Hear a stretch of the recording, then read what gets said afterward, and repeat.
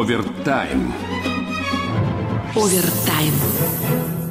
Замечательный актер, директор известного театра «Сатирикон» Константин Райкин своими словами о якобы возвращении цензуры в нашей стране всколыхнул товарищей по театральному цеху. Те, в свою очередь, всколыхнули деятелей культуры, а они — всю творческую интеллигенцию. Все это подхватила пресса, и вот, и вот уже глава государства Владимир Путин заявляет, принцип свободы творчества незыблем, но должна быть ответственность. Какая именно ответственность, за что, кто это будет определять? Ну вот сегодня мы с вами и будем в этом разбираться. Овертайм. Программа «Овертайм». Я Ольга Сирота. Здравствуйте. Сегодня у нас в студии Вадим Журавлев. Здравствуйте. Здравствуйте, Оля. Вадим — человек очень известный в узкой профессиональной среде. Это музыкальный критик, журналист. Человек, который очень-очень хорошо знает, что творится в оперных театрах, в наших оперных домах, и испытал что такое народный гнев, что такое народная цензура и вообще есть ли цензура государства, потому что он э, в нулевые годы работал в Большом театре. В его бытность в Большом театре состоялся, как мне кажется, самый-самый большой скандал музыкальный, самая-самая большая оперная провокация, а именно опера «Дети Розенталя». Вадим, именно с вами, на живом примере детей Розенталя, я хотела бы всю эту ситуацию и проанализировать. Вы согласны или нет? Я не очень понимаю, как деятели культуры сами могут вырабатывать какие-то критерии, разграничивающие эпатаж и настоящее творчество. Потому что, к сожалению, мне кажется, это подталкивает всех нас к тому, чтобы рассказывать о своих коллегах не очень хорошо, а значит, это чревато. Мы проходили в истории нашей страны, когда было модно обличать людей, которые рядом с тобой. Поэтому главная проблема как раз в том, что кто будет вырабатывать критерии, каковы эти критерии, и кто на себя возьмет потом функцию, так сказать, стучать наверх, оскорбительный ли это эпатаж или не оскорбительный. Самый главный вопрос, кто будет решать? Но у нас же есть Совет по культуре. Быть может, он создаст при Совете некую организацию, жалко, непонятно совет... общественную или государственную организацию. Вопросов масса, масса вопросов. Совет по культуре должен заниматься, наверное, другими вещами. Он должен разрабатывать будущее нашей культуры, понимать, куда целиком двигается культура в нашей стране, а не заниматься рассмотрением конкретных жалоб. Но при Совете будет орган. Извините, это цензура. А только что вы говорили о том, что цензуры нет. Получается взаимоисключающая история совершенно. Поэтому никто не в состоянии на сегодня выработать критерии.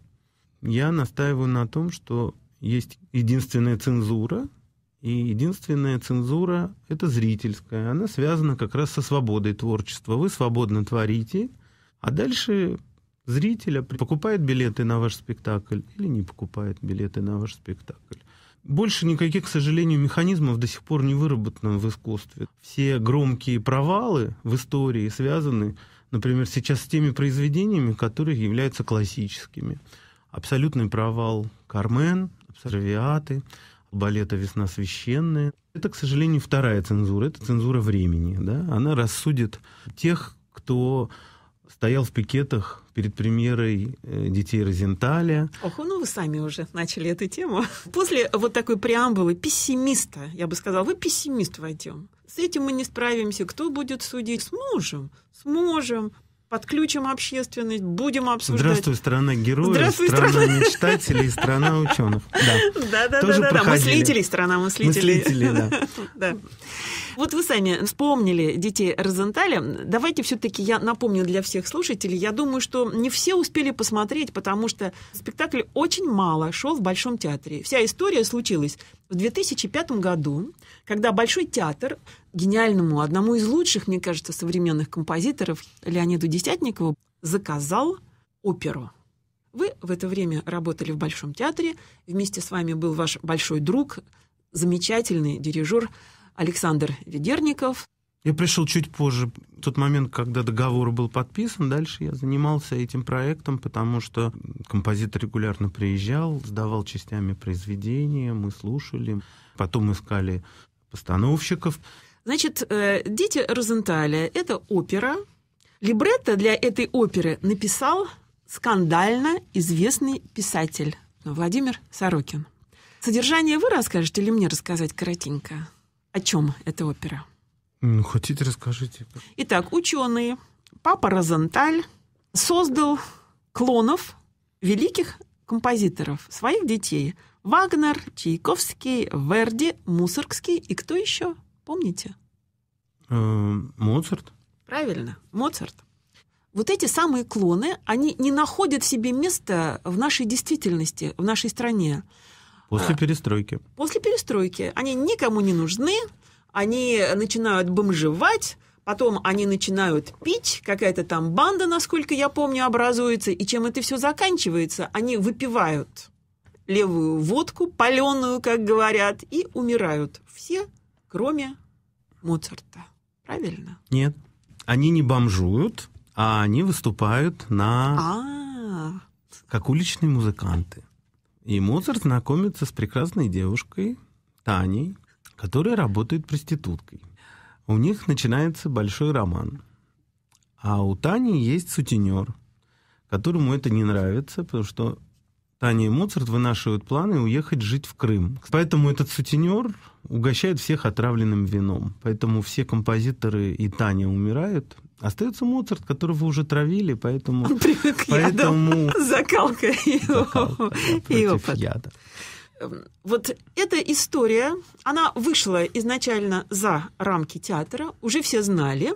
Кто такой Владимир Сорокин? Э, Знали его повесть, очень похожую, в принципе, на оперу. «Голубое сало», по-моему, да, так она Это роман. называлась? Роман «Голубое сало». И там были клоны писателей. Здесь клоны композиторов.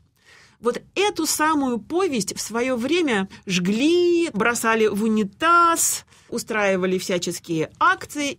Когда заказали либретто Владимиру Сорокину, один из этих людей, насколько я понимаю, Сан Саныч Ведерников, Ну, в первую очередь, генеральный директор Большого театра в то время Анатолий Геннадьевич Иксанов, Сан Санычем ну, Ведерниковым который был музыкальным руководителем. и главным дирижером, они либретто заказали вот этому скандальному писателю Владимиру Сорокину, которого не все принимали. Я не буду цитировать слова критиков, неприличные слова, хотя кто-то считал, что это шедевр постмодернизма. Зачем Большой театр задумал огромную провокацию, когда уже акции по всей стране проходили? Вы немножко все неправильно представляете, и вы, ну, грубо говоря, передергиваете факты. В чем? Не, ну, никак, никто Сорокина в тот момент ни, нигде ничего не сжигал. Это все исключительно связано именно с детьми Розентали. Вот тогда жгли и перед Большим театром на Театральной площади. До этого Сорокин кому-то нравился, кому-то не нравился, кто-то читал, кто-то не читал. Тогда еще социальные сети не были так развиты, поэтому это все обсуждалось на другом уровне. Сейчас, сегодня, кажется, что это страшными людьми задуманная провокация. На самом деле этого не было, естественно, потому что были два художника, один писатель, другой композитор. Они хотели вместе написать оперу. Театр заказал им это сочинение. Сочинение получилось очень достойное. Просто люди, которые либретто, например, не читали, но читали, например, другие его произведения, им не нравилось, они вдруг почему-то решили, что автоматически Сорокин в своем либретто должен использовать нецензурную лексику. Это, например, рассматривалось даже Комитетом по культуре Госдумы. Они почему-то решили, что Сорокин создаст нечто оскверняющее Большой театр. Из чего они сделали такой вывод, мне до сих пор непонятно. Потому что либретто Сорокина, надо признать честно, оно сейчас выпущено, оно вошло в полное собрание сочинений писателя. Одно из самых тонких, умных и очень музыкальных либретто, которые вообще были в, в отечественной опере за последние годы, с учетом того, что вообще почти ничего не было путного и достойного, да. дальше нужно идти и слушать эту оперу. Вадим, я слышу какую-то обиду в ваших словах. Вот я, когда послушала эту оперу, честно говоря, я шла настроенная вот этими флешмобами, плакатами, что творилось тогда в прессе. Тогда э, Госдума заседала, какие-то специальные постановления принимали, на генеральную репетицию какие-то посланники из Госдумы Госдума, были. ну да, комитет по культуре приходил. Творилось невообразимое. Когда я увидела, я удивилась. Потрясающая музыка. Во-первых, она разная. Видно, как Десятников купается во всей этой стилизации. Для композитора поиграть вот с этими ну, стилями да. это потрясающе, это не скучно. Блестящий динамично. стилист, но там есть и блестящая музыка, соединяющая эти стилистически разные фрагменты. Его собственная музыка, она вообще вся его собственная. Там нет музыки заимствованной, да? Она вся написанная в случае Верди, в стиле Верди, в случае Моцарта, в стиле Моцарта этот композитор, ему интересно, он всегда работает в этом стиле, и для него это был сумасшедший материал для творчества. И так и получилось. Свободное творчество привело к созданию очень достойного музыкального произведения. Согласна. Но вы говорили, что когда заказывали, никто и не думал никого ипотировать, никто не задумывал скандала. Я с вами вот в этом, простите, не соглашусь и не поверю. Владимир Сорокин, он уже и до этого был достаточно скандальным писателем. Когда его пригласили писать либретто для этой оперы, это было связано как раз с тем, что театр хотел, он изначально хотел привлечь общественное внимание к опере. Почему? Потому что попробуй-ка ты наполни зал на какую-то премьеру современной оперы это сейчас какая-то теория заговора, да, сидят люди и думают, как бы что-нибудь такое придумать, что-то дико эпатирующее, чтобы продавалось. Это не так происходит. У людей другие цели абсолютно. Творчество сегодня в области музыкального театра в России заключается в том, что то, что делают музыкальные театры, в основном это мало кого волнует, и это, в общем-то, творчество для тех, кто постоянно ходит. Да? В театре есть какой-то костяк зрительский, который интересуется, и они ходят. Ну, там, в случае с Большим театром туристов много, понятно. Другие театры, может быть, менее интересные для туристов. Но, тем не менее, люди делают что-то в расчете на своего какого-то зрителя. Кто-то пытается расширять аудиторию, кто-то нет.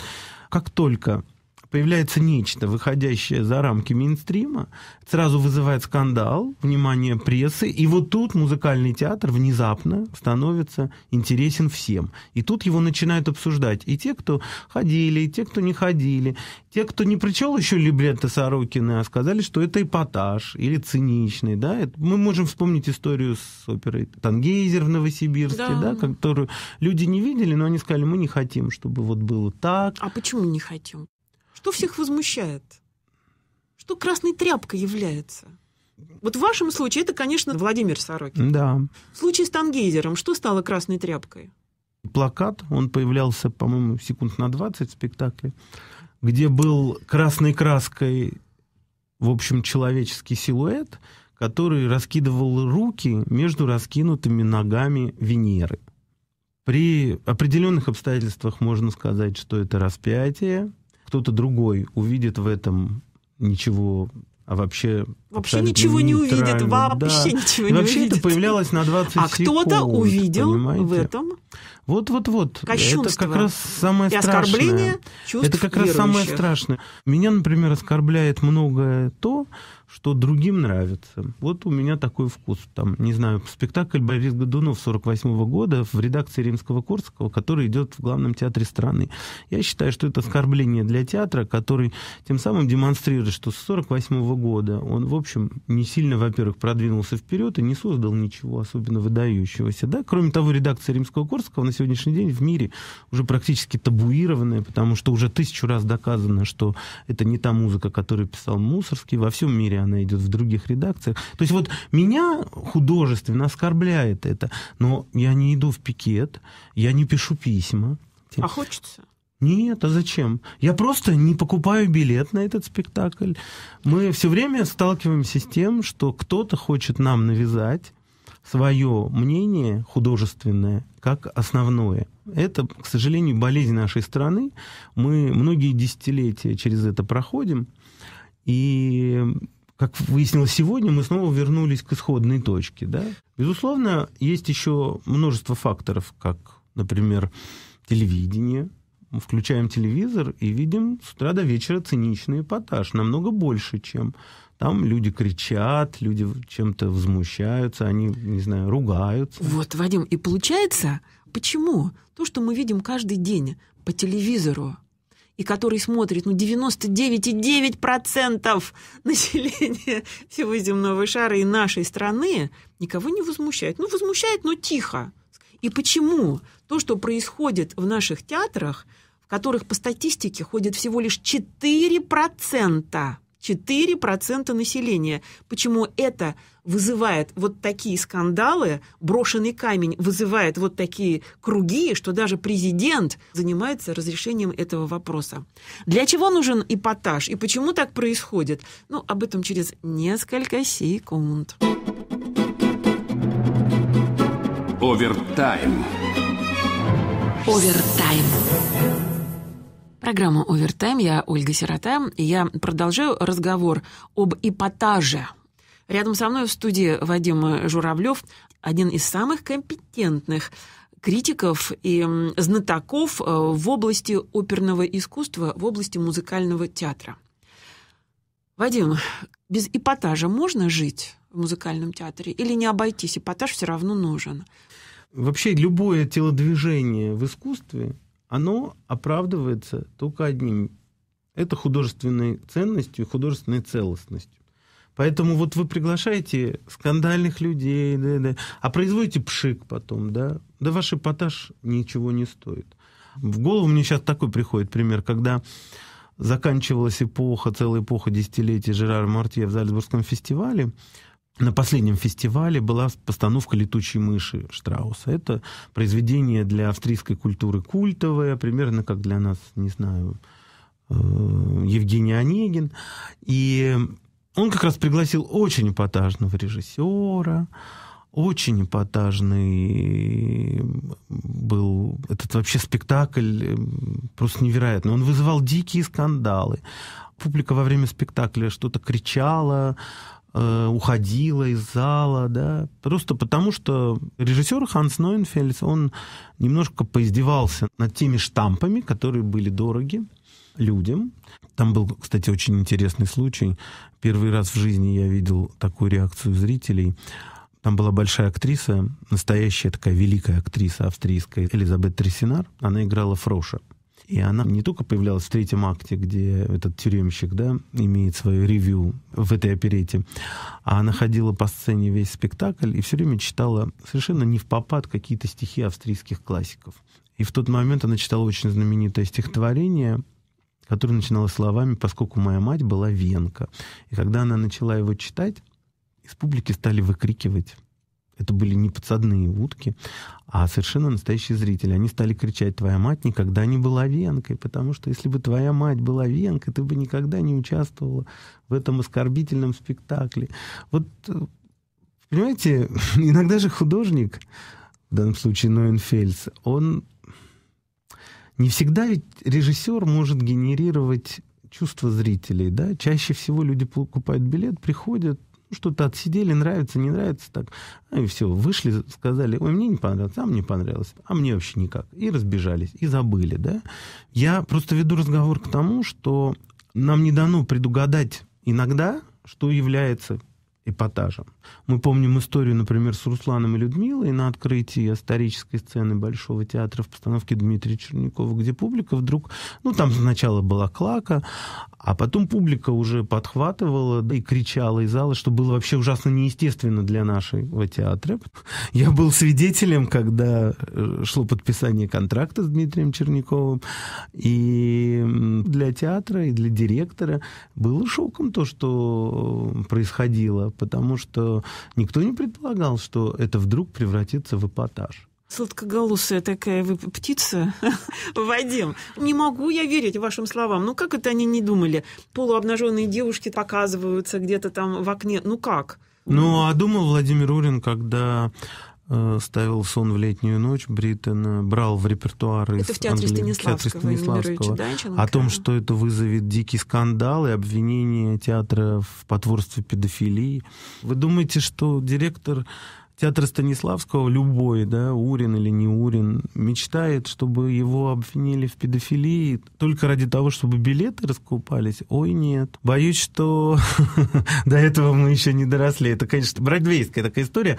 Она такая, знаете, немножко голливудское кино, да, вот такой антрепренер, знаменитый мюзикл «Продюсеры» и фильм, да, где они специально э, пытаются продюсировать провал спектакля, чтобы деньги украсть. И в результате он получается успешным. Вот это примерно противоположная ситуация. Мы все время значит, пытаемся сегодня рассказывать про людей страшных, которые сидят в кабинетах и пытаются сгенерировать дикий-дикий скандал для того, чтобы все продалось. Они что, зависят от продаж? Что директор Большого театра или театра Станиславского зависит целиком от продаж? Да боже вас упаси. Там и так все продается, и нет ну, проблем хорошо. никаких. Ну хорошо. Тогда вот такой вопрос. Не думали, не гадали, хотели как лучше, получилось как всегда. Получился скандал. Внутри этого круга вы находились во время скандала, вы были в театре. Как вы реагировали? Ну вот лично вы. Когда стояли пикеты, нужно было охрану усиливать, когда думали, что вообще просто не пропустят ну, исполнителей к театру. Как на это можно было реагировать? Ну как? Я не вы, то, чтобы вы переживали? Не спал. Ну, мы все переживали, конечно. Вы ждали, что вас уволят? Я? Да. Нет, а меня точно не могли из-за Не могли уволить. Люди, у которых в крови до сих пор еще, так сказать, советская кровь, очень многие... Александр, вы поним... намекаете? Нет, нет, на, нет, не, я не вообще на, не на топ-менеджеров, а на просто рядовых людей в театре, не знаю, которые говорили, а зачем мы пойдем репетировать, ведь завтра, типа, Путин позвонит, запретит. Вот лично вы ждали нет, запрета? конечно. Александр ждал мом... запрета? В тот момент, откуда, я не знаю, знаю, спросите у него. Вы не говорили об этом с ним? Никто не ждал никакого запрета. На дворе был 2005 год, и тогда еще была некая свобода творчества. Орг выводов вообще никаких не ждали. Вы спокойно проходили, спокойно вставали, отправлялись на работу. Все было как всегда. Надо все равно соблюдать график выпуска спектакля. То, что там за стенами бушуют э, непонятные люди и чего-то там требуют, это к нам не имеет никакого отношения. Все равно у нас есть график. Мы в тот момент выпускали спектакль. График выпуска спектакля был жесткий, его нужно было соблюдать. Все должно было репетироваться, билеты были проданы, публика-то все равно пришла, и ей нужно было показывать отрепетированный спектакль. Пришла и ахнула, а где же порнография? Да, а где же то, чего все ждали? Нецензурная брань. Где же брань? Где же осквернение? Оказалось, что ничего этого нет. И публика ушла. Сколько раз прошел спектакль? Я не помню сколько, но он шел мало. два-три года. Да, он шел, в общем, я бы даже сказал, преступно мало, но проблема в том, что в этот момент началась реконструкция. Но спектакль успел съездить на два международных фестиваля, везде имел хорошую прессу, везде были проданы билеты, везде были хорошие отзывы зрителей. Если бы все вернуть, э, вот вы считаете, что нужно было повторить этот путь, или нужно было все-таки не ставить Конечно. дети Розенталя, не затрачивать э, деньги на это? Оно должно было состояться, и э, я даже, в общем, думаю, что счастье, потому что вот сейчас э, это произведение как-то не особенно пользуется популярностью. Где-то да, хоть больше... идет нет, сейчас, нет, нигде, нигде не идет. Поэтому можно сказать счастье, что был этот спектакль Большого театра. Кстати, в прошлом году Большой театр в связи с юбилеем композитора записал это на аудио. Так что, по крайней мере, музыку можно послушать. Вы анализировали скандал для детей Розенталя стал плюсом или минусом? Он стал локомотивом, который вперед тащит, или который стал камнем, который утопил ее? А, а зачем, что тут задумываться? Спектакль был поставлен, он прошел какое-то количество раз, э, несколько лет был в репертуаре, съездил на два фестиваля, спектакль кончился. Нормальная ситуация. Теперь какие-то другие театры должны задумываться на тему, а не поставить ли нам детей Розенталя, да? Не думаю, что для детей Розенталя было бы хорошо, если бы они, как Борис Годунов 48 года все время были в репертуаре, они бы тоже превратились в некую вампуку, понимаете? Эпатаж помог, не помог опере. Помог эпатаж «Весне священной». Я говорю, мы все время пытаемся оценить то, что можно оценить только, например, со временем, да. Если бы сейчас вот эта история случилась не сколько там, 11 да, лет назад, а вот, вот сейчас она случилась, все развивалось так же, как и тогда, или нет? Откуда я знаю, может быть, сегодня, по нынешним временам, пришли бы какие-нибудь казаки, встали и сказали, не трогайте нашего Моцарта, не знаю, или нашего Чайковского. Ну, говорили, да? говорили, и тогда говорили. Опошлили вообще все. Невозможно опошлить то, что сделано с любовью, мне кажется. Вадим, вот мне кажется, что из нашего сегодняшнего разговора, вот мне так представляется, что невероятно сложным э, будет вот эту грань определить, где эпатаж. Нормальный, хороший, положительный эпатаж, наш эпатаж, да? а где эпатаж плохой, отрицательный, их эпатаж, которого нам не нужно и за который нужно отвечать. Практически Границу-то найдем, нащупаем. Практически нет, потому что, я еще раз говорю, нет критериев. А мы должны их вырабатывать. Критерии давно выработаны. Нельзя сделать искусство, э, призывающее, не знаю, к насилию. Вот это искусство запретное. Но дальше все критерии заканчиваются. И кто готов... А пошлость – это критерий или нет? Пошлость критерий. А... За пошлостью не должна следовать ответственность. Ну, а что такое пошлость? Дети Розентали, например, пошлые? Люди говорили, что опошлили, да? Да они не такими словами ну, да, говорили. Но, но Получается, вы считаете нет, Считаю они нет. считают да. Они считают да. Так где же эта граница? Да нет ее, этой границы. То есть критерии вырабатываются всем сообществом по договоренности. Я почему-то думаю, что мы сегодня в музыкальном театре, к сожалению, не можем э, договориться так, чтобы вот все сообщество согласилось да, с нами. Предположим, что Дмитрий Черняков делает только хороший спектакль. Или нет. Или наоборот. Дмитрий Черняков все опошлил. Да? Мы, к сожалению, не сможем прийти к стопроцентной уверенности, что каждый член сообщества в этом с нами согласится. И в том, и в другом случае. Вот на этой пессимистической ноте приходится заканчивать программу, но это не значит, э, что эта тема не будет обсуждаться. В программу будут приходить известные кинорежиссеры, депутаты из Государственной Думы, музыканты, дирижеры, и мы будем продолжать обсуждение проблемы. Я напомню, что сегодня в гостях программы «Овертайм» был Вадим Журавлев – один из самых умных, как мне кажется, и профессиональных музыкальных критиков и человек, который замечательно разбирается в оперном искусстве. Спасибо, Вадим. Спасибо вам. Программа «Овертайм» слушайте нас по субботам в 22 часа. Программа «Овертайм». Информация, обсуждения, споры. О самом актуальном в области культуры с Ольгой Сиротой. «Овертайм».